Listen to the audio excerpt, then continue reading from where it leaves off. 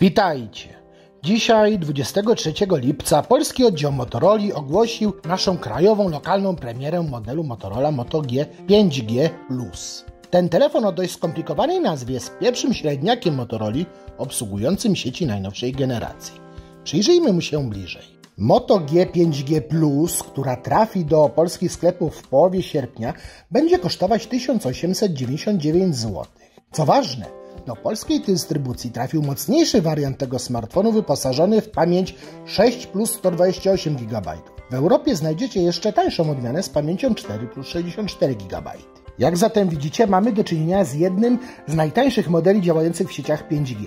Co poza tym oferuje nowa Motorola? Moto G 5G Plus to, zdaniem producenta, najlepszy model w historii serii Moto G.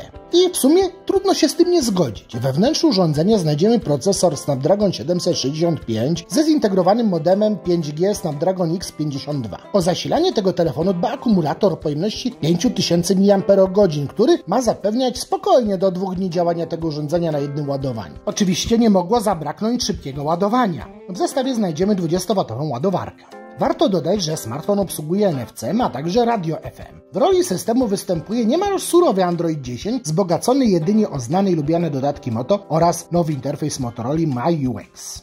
Na przodzie Moto G5G Plus znajdziemy ekran Full HD Cinema Vision o przekodnej 6,7 cala z obsługą HDR10, proporcjami 21 do 9 i częstotliwością odświeżania 90 Hz. W rogu ekranu widać dwa niewielkie otworki. To podwójny aparat do selfie z matrycami 16,8 megapikseli. Jak możecie się domyśleć, dodatkowy aparat robi po prostu ujęcia szerokokątne. Z kolei na tyle znajdziemy poczwórny zestaw fotograficzny, tworzony przez aparat główny 48 MB z technologią Quad Pixel, wzbogacony o aparat do zdjęć makro 5 megapikseli, 8-megowy aparat szerokokątny oraz 2-megapikselowy aparat do pomiaru głębi, czyli do robienia zdjęć portretowych. W aparacie nie mogło oczywiście zabraknąć sztucznej inteligencji oraz y, dedykowanego trybu do zdjęć nocnych. Na koniec jeszcze parę słów o stylizacji, dość mocno odbiegającej od tej, do jakiej przyzwyczaiła nas ostatnio Motorola. Poza wspomnianym już y, podwójnym otworkiem w ekranie jest też kolejna nowość. Zupełnie inna stylizacja tyłu niż dotąd. Pionową ramkę z wydzielonym obiektywem głównego aparatu zastąpiła ramka zbliżona kształtem do kwadratu, nieco wystająca, czyli taka kuchenka. Na szczęście ma ona identyczny kolor jak reszta obudowy, dzięki temu nie rzuca się zanadto w oczy.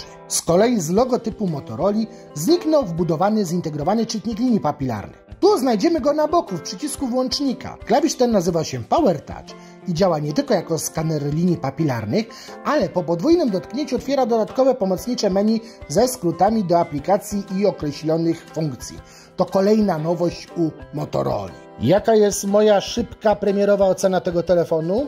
Zapowiada się dosyć ciekawie. Mamy 5G, całkiem niezłą specyfikację i niezłą cenę. Wydaje mi się, że jest to spory materiał na rynkowy przebój. Ale oczywiście czas pokaże, czy moje przewidywania okazały się słuszne. I to na razie tyle z sympatycznej premiery sympatycznej Motorola o nieco przydługiej nazwie. Dzięki za oglądanie, do zobaczenia w kolejnych filmach. Cześć!